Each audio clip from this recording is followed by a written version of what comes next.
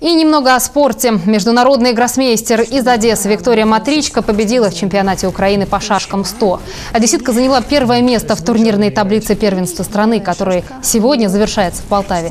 Самую важную победу в турнире Матричка одержала вчера над принципиальной соперницей Ольгой Болтажи.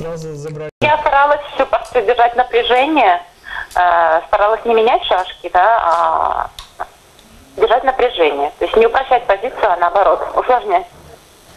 Вот. Ну и в итоге э, она ошиблась, и незаметно там ход сделала, и, и я сделала неотразимую угрозу, и после этого стала выиграна позиция.